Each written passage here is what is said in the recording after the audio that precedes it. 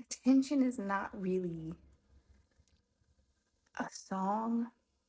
It's like more of like a piece. It's a message.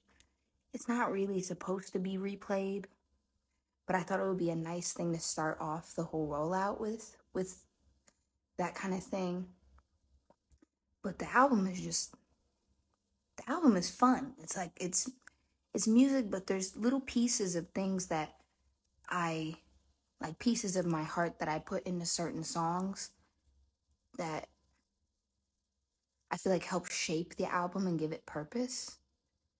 But I have little fucking I have songs on this shit. but I'm glad you guys have been so fucking positive about attention. I'm glad you like it. I love it too. I just I me personally, I I wouldn't even replay attention if I heard it. I I, I would just appreciate it for what it is. Um it's kind of it's it's more of a message and less of a I don't even know because I'm I'm commanding you to listen to what I'm saying on the song. I'm demanding an ear. You know, I'm not.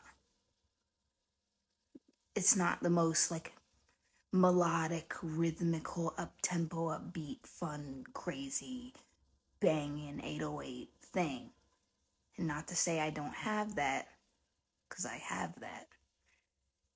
This was a nice start for for uh, the project, and I, I'm I'm happy to start it that way because it'll create a nice up and down as the as everything comes out. You know, you start here, and you just lift and flow.